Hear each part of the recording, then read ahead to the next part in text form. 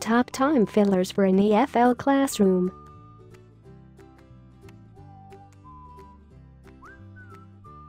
As every TEFL certified English teacher will know, it is all too common to find you have completed the lesson, but there is still time left before the end of the class. While first-time teachers might panic in this position, experienced teachers will always have a few go-to activities to use in these situations. To help you out we have put together the following suggestions for fun, educational activities that can be brought out with little or no preparation. Telephone. This is a classic old classroom game that is still great fun to use today. First, you need to arrange the students in a circle to get the game going, the teacher or a student comes up with a relatively long sentence, ideally using vocabulary or grammar points learned in the lesson, and then whispers it to the first student in the circle. The next student has one go at passing on the sentence to the next student in the circle. Continue around the circle until you reach the last person. The last student then says the sentence they heard out loud. The teacher can then reveal the original sentence to see how it compares with what the final student said. Pictionary.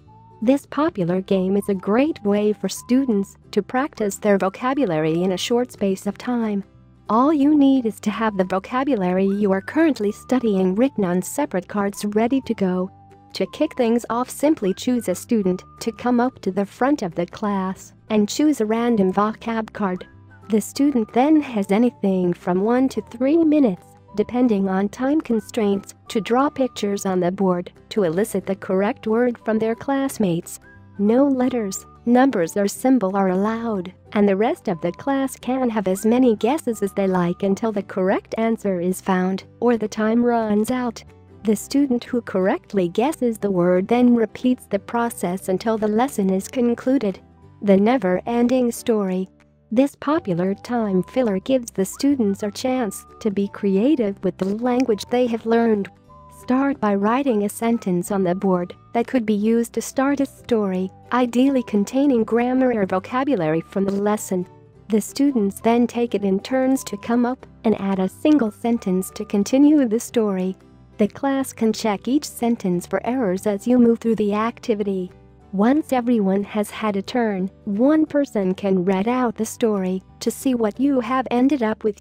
Once you have used this activity a few times you should find the students have the confidence to be increasingly creative. Why? Because this very simple game has the potential to generate plenty of laughs in the class. To start, each student is given two pieces of card or scrap paper on one, they have to write a question that begins with why. On the second, they answer their own question beginning with because.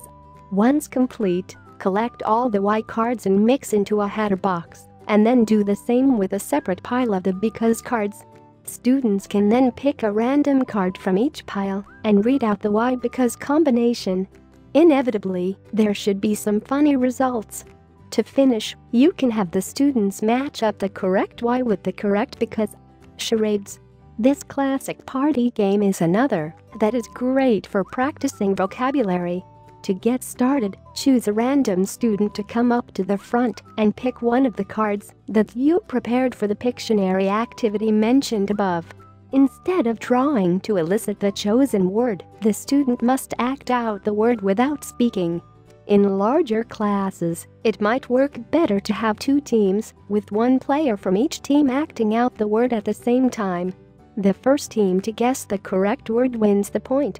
To make it more competitive, you can keep a running score for a month and award prizes to the winning team. Whiteboard Slam This fun activity offers yet another way to learn and practice vocabulary. Start by writing a simple four-letter word on the board. Then the students are tasked with producing a new word by changing only one letter. When a student has an answer they can come to the board and write it underneath the last. During the activity, make sure the students have the opportunity to ask for a definition of any words that they are unfamiliar with. Keep going until they have run out of ideas or the time runs out. Would you rather this is another simple activity that can help you learn a little more about your students. All you need is a pre-prepared list of questions starting with would you rather. These can be simple questions such as, would you rather eat an apple or an orange? Or more complex questions such as, would you rather live in the 19th or the 21st century?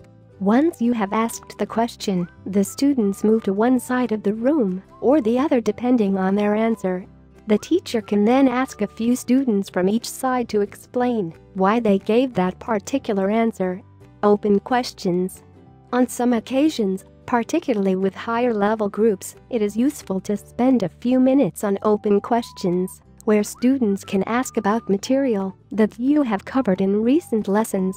They could also ask cultural questions or about unknown vocabulary that they have come across Ideally, other students will be able to answer the questions, but if not then a straightforward explanation from the teacher can be very helpful to the student's progress.